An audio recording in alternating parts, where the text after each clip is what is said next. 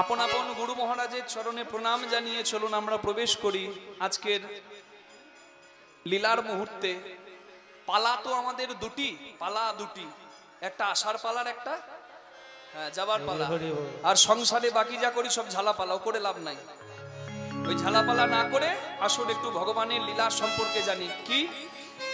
আজকের কীর্তনের বিষয় হবে ভগবান শ্রীকৃষ্ণ এবং তার সর্বশ্রেষ্ঠ বন্ধু এমন বন্ধুত্ব ইতিহাসে কোনোদিন হয়নি আর হবেও না। যে বন্ধুত্ব করেছেন ভগবান শ্রীকৃষ্ণচন্দ্র, তার পরম মিত্র, তার পরম বন্ধু সুদামা মহারাজের সঙ্গে।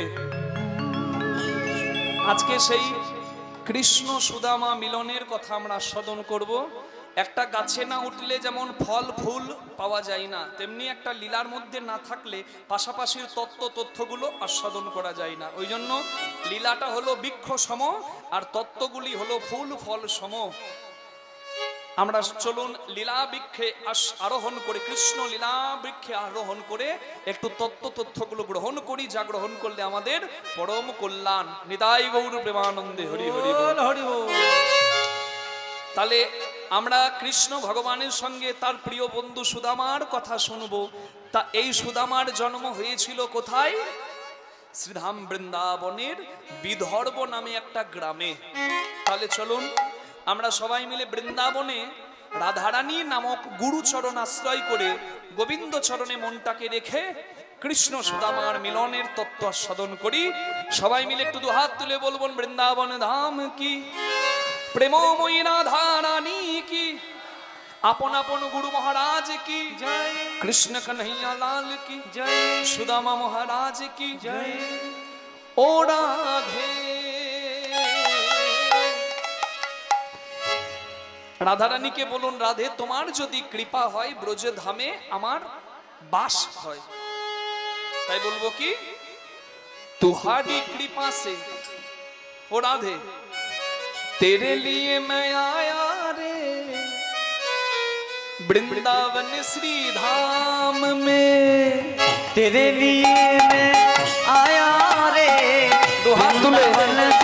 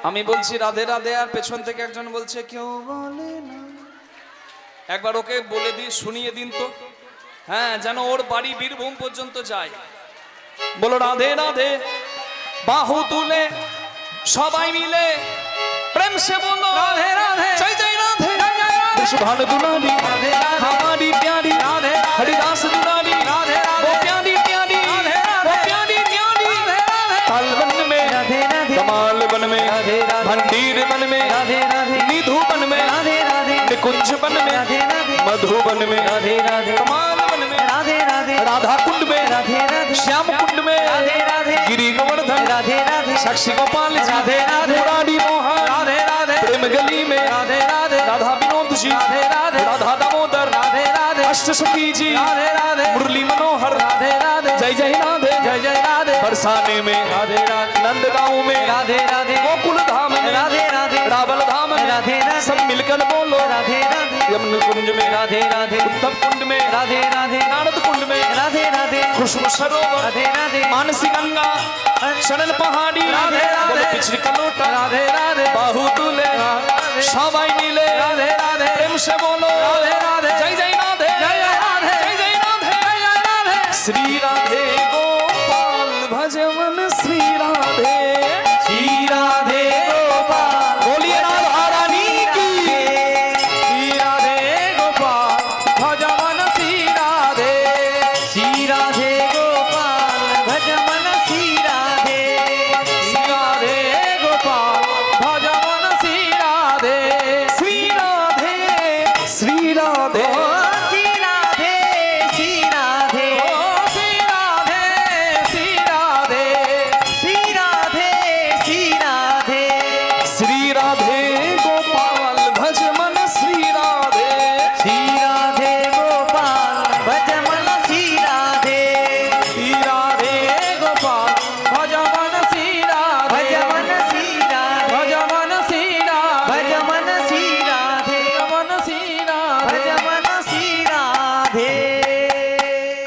গণনা দারানি কি শ্যাম সুন্দর কি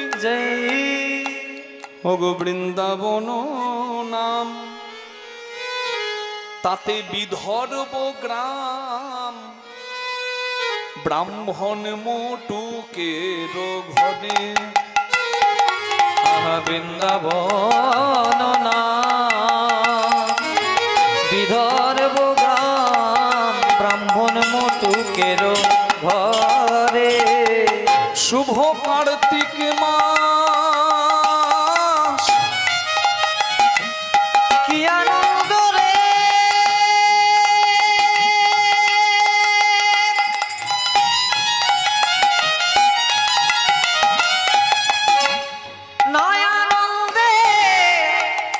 しま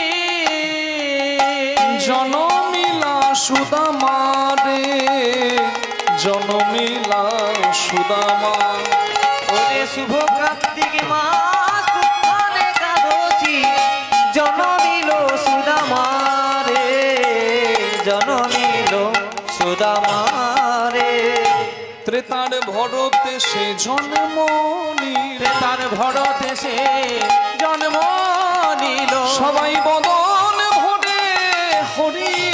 তার ভরতে সে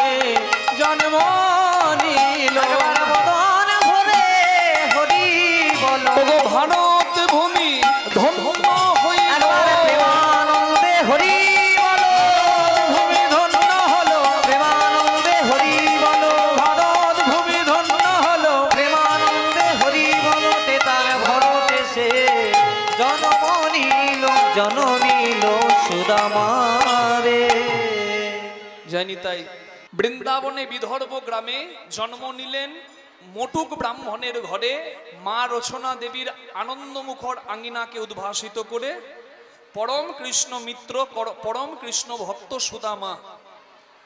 কেউ কেউ বলে নাকি এই সুদামাই ত্রেতা যুগের রামের ভাই ভরত। তাহলে ত্রেতা যুগের ভরত মানে রামচন্দ্রের যিনি ভাই, সেই রামচন্দ্র দাপর যুগে যখন কৃষ্ণ হয়ে এলেন, তখন ত্রেতা যুগে রামচন্দ্রের ভাই ভরত, কেন কৃষ্ণচন্দ্রের ভাই না হয়ে বন্ধু সুদামা হলেন?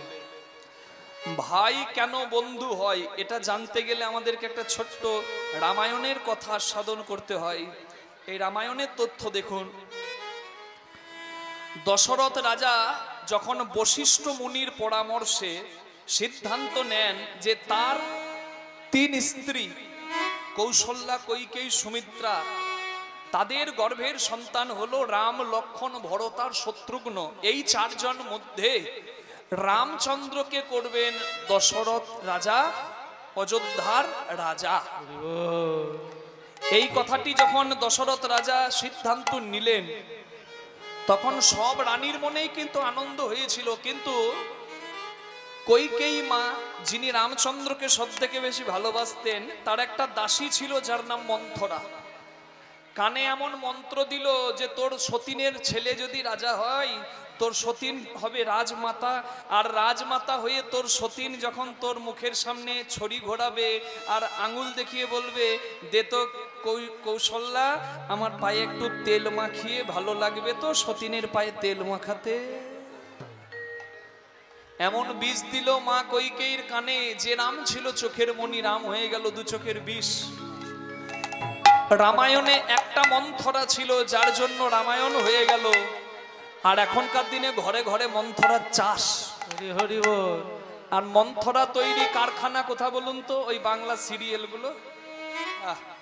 দেখবেন কি সুন্দর হিংসা কি সুন্দর পরের কাঠি করা কি সুন্দর দেখায় দেখবেন। ওখানে যে শিক্ষার কি আছে আমি তো মাঝে মাঝে দেখি কীর্তন করতে গিয়ে মাঝে মাঝে অনেকের ঘরে টিভি চলে দেখি। বাংলা সিরিয়ালগুলোর যা অবস্থা তাতে আমার মনে হয়েছে যে সংস্কৃতি কোন জায়গায় পৌঁছাতে চলেছে। দেখুন ওখানে দেখানো হচ্ছে কি বাবারও দুটো বিয়ে মায়েরও দুটো বিয়ে ছেলেরও দুটো বিয়ে বৌমারও দুটো বিয়ে। বাহ কি ভালো সংসার কি ভালো এই জন্যই তো বিয়েটা ছেলে খেলা হয়ে গেছে এখনকার দিনে। এখনকার দিনে এত ডিভোর্স বেড়ে গেছে কেন? ওই দেখছে আর শিখছে, বিয়েটার কোনো মানই রইছে না। এই জায়গা থেকে আমাদেরকে সঠিক শিক্ষা পৌঁছে দিতে হবে। রাধে রাধে। একটা হাঁসকে যদি আপনি দুধ আর জলে মিশিয়ে দেন, হাঁস দুধটি গ্রহণ করে জলটা ফেলে রেখে দেয়। ঠিক তেমনি আপনারা যারা এসেছেন, ওগো আমার ভক্তমণ্ডলী, ভক্তিমতী মায়েরা আপনাদের কাছে জগৎ সংসারে অনেক কিছু থাকবে, পাঁচে পাঁচ রকম পঞ্চ ফুলে ডালি সাজানো থাকবে। যেমন কীর্তনেও বুঝতে পাচ্ছেন, কোনোটা চোখের জল, কোনোটা হাসির কথা, কোনোটা কীর্তনাঙ্গিক গান, তাল, আবার কোনোটা শাস্ত্রের কথা, কোনোটা রসিকতার গল্প। এই যে পাঁচ রসের ডালা সাজাতে হয় যে কোনো জায়গায়, ঠিক তেমনই আপনারা সংসারে আছেন পাঁচে পাঁচ রকম অনেক কিছু দেখবেন কিন্তু হংসের মতো আপনারা গুণগ্রাহী হয়ে আসলটিকে গ্রহণ করে নকলটিকে পরিত্যাগ করবেন তবেই কিন্তু মা মঙ্গল হবে নিতাই গৌর প্রেমানন্দে মন্থরার প্ররোচনায় মা কৈকেয়ী রাত্রে ঘুমাতে পারলেন না সারা রাত জেগে আছেন। দশরথ রাজা যখন নিজের ঘরে বিশ্রাম নিতে যাবে দেখছেন কৌ- কৈকেয়ী মায়ের ঘরে আলোটা আলোটা জ্বলছে। তা বুঝতে পারলেন কৈকেয়ী কিন্তু ঘুমায়নি। দশরথ রাজা এসে কৈকেয়ী মাকে প্রশ্ন করছে কৈকেয়ী আমার রাম রাজা হবে, কালকে সকালে আমার রামের রাজ্যাভিষেক ঘোষণা করব, তুমি খুশি হওনি? কৈকেয়ী এত তার জটিল হৃদয় হয়ে গেল। দশরথ রাজার পানে চেয়ে বলছেন, আমাকে আপনি খুশি দেখতে চান? তাহলে আমাকে দুটি বর দেবেন বলেছিলেন না? অনেকদিন আগে আমি আপনাকে প্রাণে বাঁচিয়েছিলাম বলে বলেছিলেন, দুটি বর দেবেন। আজকে বর দিয়ে দিন। কই কইকেই এত আনন্দের দিনে তুমি আমাকে এমন কথা বললে। তুমি যদি আমার কাছ থেকে আমার প্রাণটা চাও, আমি দিতে পারি। সামান্য বর কেন পারব না? বলো কি চাই? কইকেই মা বললেন, আমার ইচ্ছা আপনার বড় ছেলে রাম নয়, দশরথ রাজার পরে উত্তরী, উত্তরাধিকার পাবে। অযোধ্যার রাজা হবে আমার পুত্র ভরত। আর আমার দ্বিতীয় ইচ্ছা, রাম যদি অযোধ্যায় থাকে, ভরত সিংহাসনে বসবে না। তাই রামকে চোদ্দ বছরের জন্য বনবাসে পাঠিয়ে দেবেন। বলো না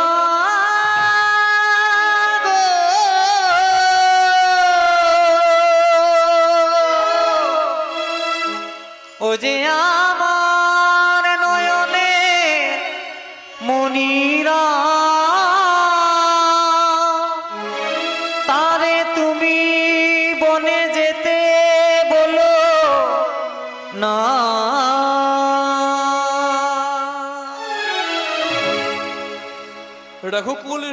সদা চলি আয়ে, প্রাণ যায় পর বচন না যায়। দশরথ রাজা কথা দিয়েছিলেন।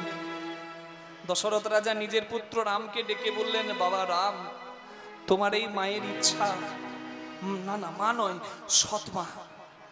সেই সৎ মায়ের ইচ্ছা, কালকে আমি রাজা ঘোষণা করব তোমার ভাই ভরতকে, আর তুমি চোদ্দ বছরের জন্য বনবাসে যাবে। আমি বাবা হয়ে যদি তোমাকে বলি, বনবাসে যাও। তুমি কি যাবে বাবা? রামচন্দ্র বলেছিলেন, বাবা, আমার দেহটার জন্ম হয়েছে আপনার সুপ্ত ইচ্ছার জন্য। আমি দেহ পেয়েছি, এ দেহ আপনার দান। আপনি যদি বলেন, সিংহাসনে বসতে বসবো। আপনি যদি বলেন, বনে যেতে এক বছর, দু বছর, চোদ্দ বছর, কেন সারা জীবন বনে কাটাবো? রামচন্দ্র বনবাসে গেলেন। লক্ষণ আর সীতামাও রামচন্দ্রের চরণ ধরলেন। বললেন, তুমি যদি অযোধ্যা ছেড়ে চলে যাও, এই ভুতুরে রজবাড়িতে আমরা থাকব না। রাম, লক্ষণ আর সীতামা চলে গেলেন অযোধ্যা পরিত্যাগ করে। এই দুঃখ সহ্য করতে না পেরে দশরথ রাজা মৃত্যু বরণ করলেন। এমন তার কপাল, চার চারটে দেবতুল্য সন্তান থাকা সত্ত্বেও মুখে আগুন দেবার লোকের অভাব। আহ, কি কপাল বলুন হ্যাঁ? দশরথ রাজা মৃত্যুবরণ করলেন, অযোধ্যা শ্মশান হয়ে গেল। এত কিছু দেখার জন্য ভরত ছিল না। ভরত যখন অযোধ্যায় এসে দেখল যে শ্মশান হয়ে গেছে অযোধ্যা, অযোধ্যার বাসীর কাছে জিজ্ঞাসা করছে, কে করল অযোধ্যার এমন দশা? একবার নাম বলো, আমি ধনুক বাম দিয়ে তাকে শাস্তি দেব। অযোধ্যাবাসী আঙুল দিয়ে দেখিয়ে দিল, নাটক করছ তুমি, নাটক? শাস্তি যদি দিতে হয়, তোমার মাকে গিয়ে দাও। তোমার ওই এক মায়ের জন্য অযোধ্যার সবকিছু শেষ হলো। ভরত এলো, মা কৈকের কাছে? মা, তুমি? নিজে থেকে এত বড় কলঙ্কের বোঝাটা আমার মাথায় চাপালে তুমি? মাগো, আজকে সবাই আঙুল দেখিয়ে আমাকে বলছে যে ভরত নিজের স্বার্থ সিদ্ধির জন্য দাদা রামকে বনবাসে পাঠিয়েছে। এই কলঙ্ক দেবার আগে জন্মের সময় নুন ছিল না, হাতের কাছে আমার মুখে দিয়ে আমায় মেরে ফেলতে পারত। মা বাবা যদি করে, অপরাধ পুত্র করে প্রাশ্চিত্য তুমি দাদাকে তাড়িয়েছ না, আমি নিয়ে আসব। ভরত চললেন ছুটতে ছুটতে কোথায়? চিত্রকূট পর্বতে, যেখানে রামচন্দ্র ছিলেন বনবাসে। ওই চিত্রকূট পর্বতে রামচন্দ্রের কাছে গিয়ে রামচন্দ্রের চরণ ধরে কাঁদছে ভরত দাদা। মায়ের কথাই তোমার অভিমান হয়েছে? না, অভিমান করো না দাদা। তোমাকে ছাড়া যে আমি বাঁচবো না। তোমার চরণ ধরে বলি, অভিমান করো না। একবার ফিরে চলো। রামচন্দ্র বললেন, ভাই ভরত রে, ভাই ভাইয়ের সম্পত্তি পাবার জন্য ভাই ভাইকে হত্যা করে, আর তুই আমার এমন ভাই, সমগ্র ঐশ্বর্য আমার চরণে ফিরিয়ে দিতে এসেছিস, তোর মতো ভাই আছে? এটাই আমার আনন্দের রে। কিন্তু তুই বললেও আমি যেতে পারব না। কেন জানিস? আমি যে বাবাকে কথা দিয়ে এসেছি, তুই ফিরে যা, আমায় জোর করিস না। হাজার বার ভরত চরণ ধরলেন, কিন্তু রাম ফিরে এলেন না। রামচন্দ্রের কাছে ভরত ভিক্ষা চাইলেন, দাদা, ফিরে যখন যাবে না, আমাকে কিছু দাও, আমি সঙ্গে করে নিয়ে যাই। রামচন্দ্র বললেন ভাইরে আমি যে বনচারী, আমার কাছে তোকে দেবার মতো কিছু নাই, কারণ তুই অযোধ্যা রাজা এখন। আমি কিছু দিতে পারি, তোকে আমার কিছু নাই রে। ভরত বললেন, দাদা, আমি বেশি কিছু তো চাইছি না, তোমার চরণে দুটি পাদুকা চাইছি, দেবে না? দাও না। রামচন্দ্র বলছেন, এই খেপা, তুই কি করবি আমার চরণের পাদুকা নিয়ে? বলে, যে আসন তোমার নামের, সে আসনে আমি কোনোদিন বসবো না, দাদা। আমি এই চরণ পাদুকা নিয়ে গিয়ে অযোধ্যার সিংহাসনে রেখে প্রত্যেক দিন তোমার কথা ভেবে নিজের হাতে ফুল তুলে পুষ্প চয়ন করে পুষ্প দিয়ে তোমার চরণ পূজা করে।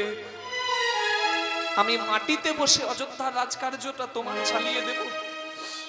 দেখতে দেখতে চোদ্দ বৎসর পেরিয়ে গেল।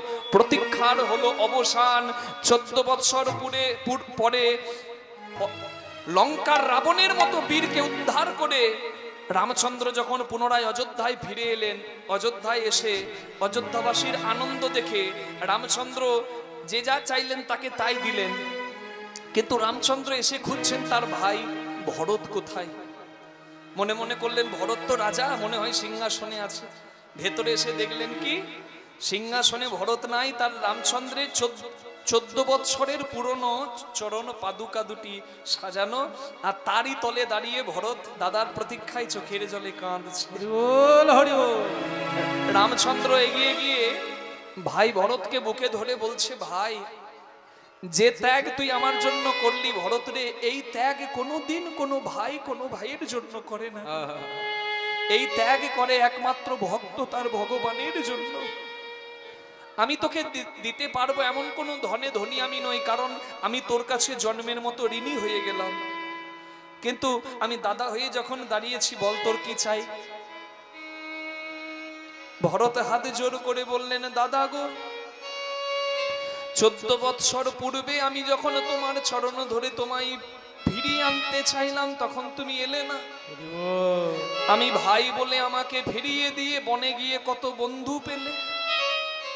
কোথায় গুহক চণ্ডাল তাকে বন্ধু করলে? কোথায় বানরের রাজা সুগ্রীবকে বন্ধু করে সঙ্গে রাখলে? রাক্ষসের ভাই বিভীষণ বন্ধু করে পাশে জায়গা দিলে? ভাই বলে আমাকে তাড়িয়ে দিয়ে বন্ধুর সঙ্গ করতে গেলে? এমন ভাই আর আমি কোনো দিন হতে চাই না। যদি আবার আমার কোনো দিন জন্ম হয়, তুমি আমায় কথা দাও।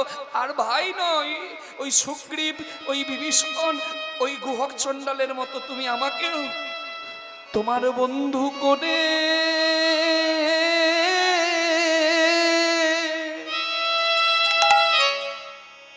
আমার জন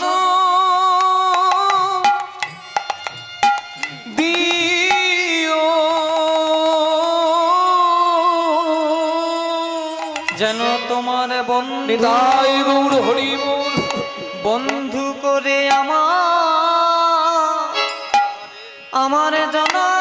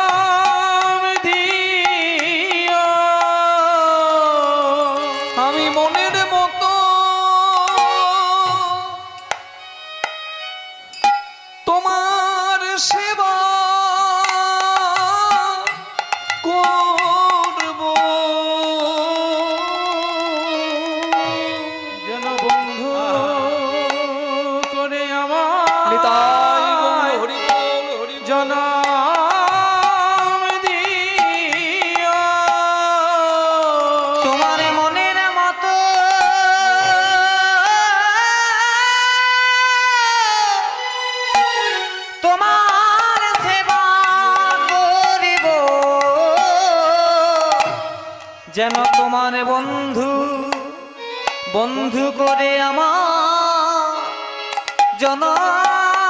দিও। রামচন্দ্র আশীর্বাদ করে বললেন, তাই হবে ভরত, আগত দাপরে আমি হব কৃষ্ণ, আর তুই হবি আমার ভাই, আর বন্ধু নয়। তুই হবি আমার, আহা, আর ভাই নয়, তুই হবি আমার পরম বন্ধু। এমন বন্ধুত্ব তোর সঙ্গে আমি করব, এমন বন্ধুত্ব আর পৃথিবীতে কেউ কোনোদিন কারোর সঙ্গে করবে না। তুই হবি আমার প্রাণাধিক প্রিয় বন্ধু সুদামা। তাই সুদামার জন্ম হলো সেই ইচ্ছা পূরণ হবে তার দাপর যুগে। জন্ম নিলেন ব্রজধামে মোটুক ব্রাহ্মণের ঘরে। মায়ের নাম কি? রচনা দেবী তাই তো? কি বললাম মা? রচনা দেবী। এ রচনা নয় গো খেপা আছে। এ ভাবছে রচনা স্বস্তিকা ও সব নয়। রচনা দেবী জন্ম নিলেন কোথায়? বৃন্দাবনে। আহ, ধন্য হলো বৃন্দাবন শুধু কৃষ্ণর আবির্ভাবে নয় ত্রেতার ভরতের আবির্ভাবে সুদামা রূপে জন্ম নিলেন। তা বলুন সবাই বৃন্দাবন দাম কি?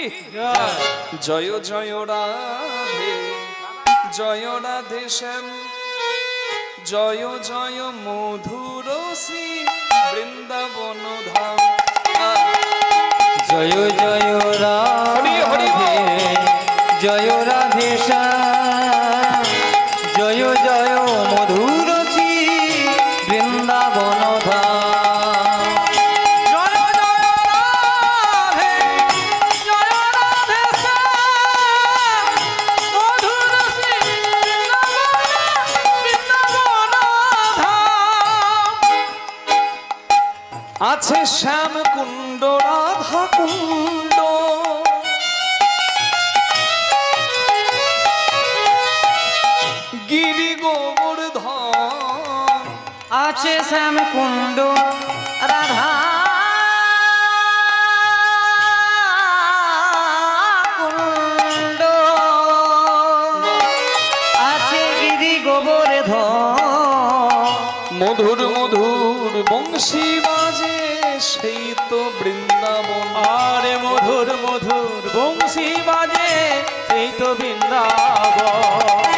জয় জয় রাধে জয় রাধে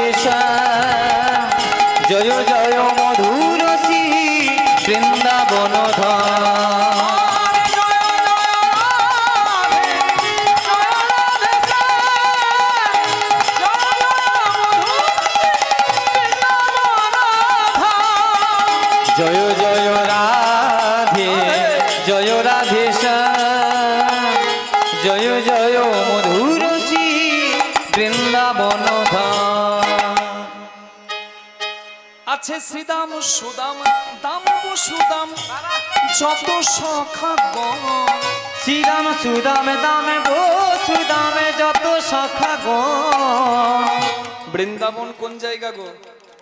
একবার সবাই মিলে জয় দেবেন? বলুন ব্রজবল্লভপুর নাম বৃন্দাবন ধাম কি? এটাও বৃন্দাবন কেন? যেথাই নাম সংকীর্তন সেই তো বৃন্দাবন। যেথায় নাম সংকীর্তন সেই তো বৃন্দাবন। জয় জয় রাধে